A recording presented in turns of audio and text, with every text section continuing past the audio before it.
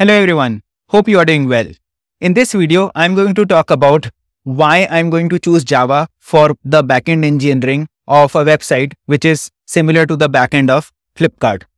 So this particular video is a part of a series where I'm going to have a problem statement that is build a website similar to Flipkart where we'll have catalog, where we'll have things in the backend. And while doing so, we'll take a lot of design decisions. So what we'll do is that we'll take some design decisions, we'll take some low level design decisions, some high level design decisions, and we'll eventually deploy it on Azure and we'll take some costing decisions as well. And we'll knit everything together so that when you start your backend engineering journey in your company or somewhere else, you know that what are the decisions and what are the pain points which engineers go through. So let's quickly get started. So this video is particularly for a topic called as why I'm going to choose Java for this particular problem statement. So the problem statement is simple that I'm going to build the backend engineering solution, basically the backend APIs for my product, which is similar to the e-commerce platforms. So basically I'll have something called as catalogs. People should be able to search. People should be able to find their things and then overall place the order and then they can see the order in their order history. They can have cart, all those things they need to have. So for those things, I, I am going to use Java and this particular video is for why I choose Java in my programming language and I could choose anything else, but why exactly Java? So what we do generally in the companies is that uh, we just don't go ahead and use a particular technology just because we like it, right? We generally have a documentation. We generally put pros and cons and long list of things. Basically, companies spend sometimes even weeks to decide what technologies they should use. They put pros and cons. They put a lot of things in into the picture before deciding what language one should use. So what I'm going to do is that I have a Windows machine with me. It is an empty machine. So if you see here, I don't have Java installed here. So I'm going to install Java. But before doing that, let's first discuss that why Java should be the right choice for our particular use. So there are three major reasons I'm going to choose Java for our problem state. The first is that the community and the number of developers for Java is huge.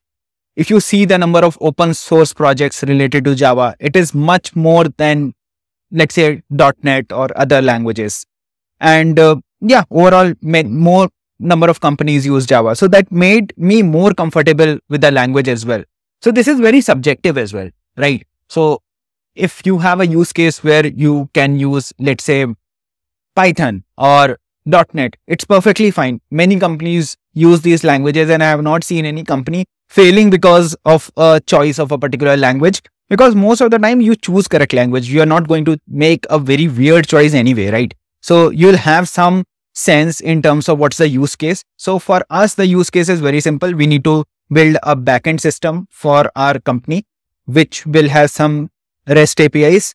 We'll get some REST API calls. We'll connect to the database. We'll connect to some external sources and we'll have some catalog and all those things. So for those use cases, uh, Java will work fine. There are other languages as well, which will work fine. But if there are more number of languages which can work fine in this use case, why not incline towards something where you get more or better community. You will get more number of developers who can code on Java.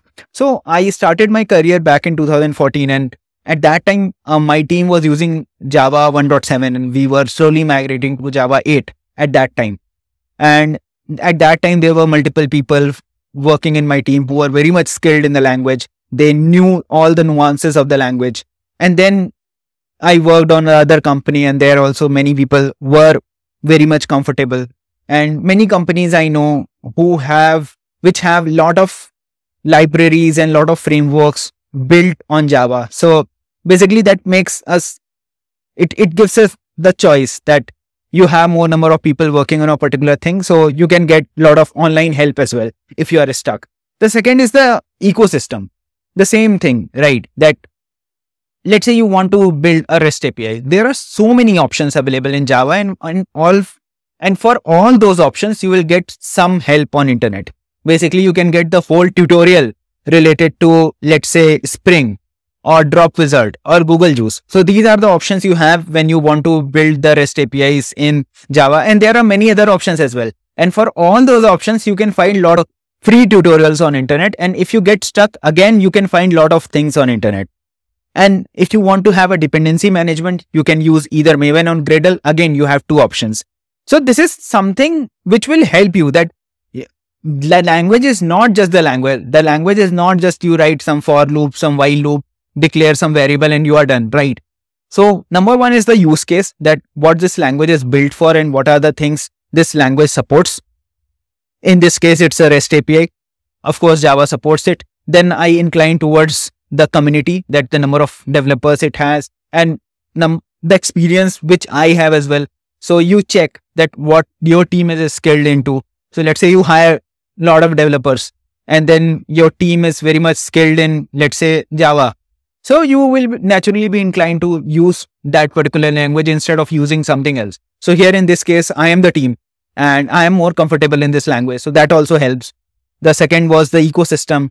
All these tutorials, wherever you are stuck, let's say you are stuck in multi-threading, you will find lots of tutorial on Java related to multi-threading. You can find these things in other use cases as well, but this will definitely help. And the third is the debugging tools. So let's say you deploy your product on production and you get some sort of a memory leak or your process is taking lot of resources. You want to debug it, right? So in those use cases as well, there are a lot of tools which are available in Java and there are a lot of uh, tutorials which are available in Java. So it happened with me in the recent past when I was working on a particular tool and that tool was in a technology where less number of things were available. So it was just hard to figure out the help that how to debug a particular issue, how to figure out the root causes, the number of tools available definitely help. So, and, and I would say that these points are mostly subjective, right? It's not that I have said something, so it is true for everyone. This is something which is subjective as well. So what, what works for you will work for you, right? So if your use case is something which is, let's say machine learning, you might be more inclined towards using Python because there are many good libraries available in Python. Likewise, if I have something related to backend engineering where I need to make some REST API calls, Java can be a good choice, but there are other options as well. Then I get inclined towards using other factors like community that what kind of projects and what kind of libraries are available. So for example, if you see the logging library as well, right? So there are a lot of like logging libraries available in Java. So that, that generally helps if you have more number of people working on a certain thing, then you can reach out to those people when you are stuck. And same goes for ecosystem, same goes for debugging tools. So the language is not just writing some for loop, declaring some variables, but it is much more than that. So these are the reasons due to which I'm choosing Java as my programming language. So let's do one thing. Now let's, once we have decided that Java should be the right choice, generally when you work in a company, it, it can take even weeks to figure out the technologies. But overall, what you do is that you write list of pros and cons, you write a particular documentation, and then you get it approved from multiple people that, hey, this is the reason I'm choosing this particular language or technology. So it's not that one fine day you think that I'm going to use a particular language and you will use it, right? Wherever I have worked, I have seen that these big de design decisions take at least two to three weeks. You need to get sign off from a few people. You need to get consensus that this particular solution will work for us. Because let's agree that all the solutions are there on internet and all of them have their own use cases and we have to figure out which one will work for us. So once we decide that we can use Java, we can go to internet, search for Java download and we'll reach a particular page. We'll go to Oracle Java so there are other Java as well. Uh, basically, there is OpenJDK as well, which which which also people use. But I'll use Java by Oracle, which is more common. So if you go here, you find two versions of Java. One is JDK, which is Java Development Kit. This is used by developers. So one option is JDK 21, which is the general available version for Java. And the other is JDK 17, which is also a version. General available means something which is stable and which will be supported by the company. And it is, I think, long-term support as well. Basically, they are going to give support for long-term as well.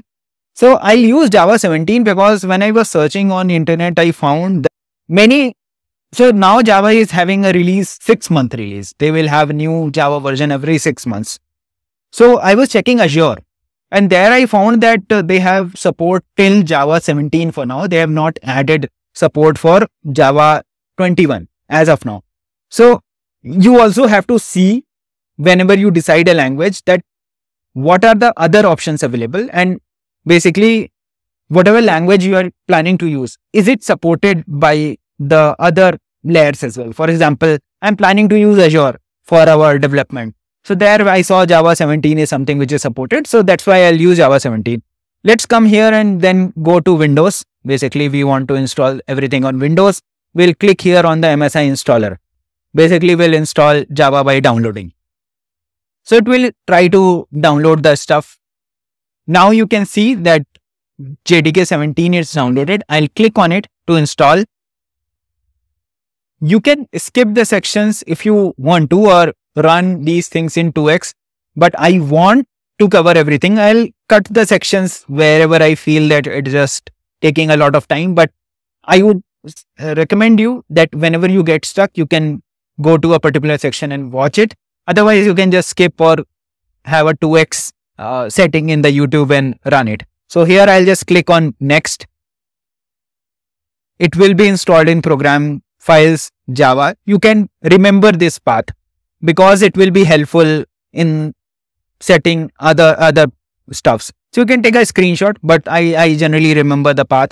Uh, C program files Java JDK70. Just click on next and it will be installed. So let's wait a little to for it to get installed.